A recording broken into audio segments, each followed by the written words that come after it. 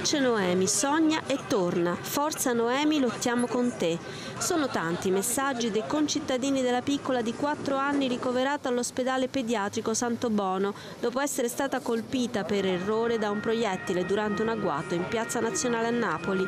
La piccola è stabile ma persistono le condizioni di criticità, si legge nel bollettino medico diramato dall'ospedale. Intanto i napoletani passano davanti al nosocomio per esprimere vicinanza alla bambina e alla sua famiglia. Qualcuno si ferma a portare un vasetto di fiori, qualcun altro legge i messaggi di affetto. Ieri sera una trentina di mamme appartenenti all'associazione Donne Forti Guerriere del Rione Sanità si sono riunite all'esterno del nosocomio partenopeo e hanno pregato con un cero in mano intonando preghiere per la piccola. E poche ore fa il Presidente della Repubblica Sergio Mattarella è giunto all'ospedale per fare visita alla bambina. L'incontro è durato circa mezz'ora, dopodiché il Capo dello Stato è ripartito senza rilasciare dichiarazioni.